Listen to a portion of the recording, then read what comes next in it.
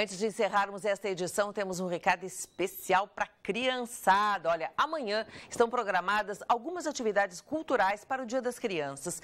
A maioria são gratuitas e acontecem no Centro Municipal de Cultura, Arte e Lazer Lupicínio Rodrigues, que fica na Avenida Érico Veríssimo, número 307, aqui em Porto Alegre. E as atividades iniciam cedo, às 10 horas da manhã, encerram às 18 horas. Estão programadas peças de teatro, musicais, atividades lúdicas de leitura e um espaço de criação. O cronograma completo pode ser acessado no site da Prefeitura de Porto Alegre. Aproveitem o Dia das Crianças.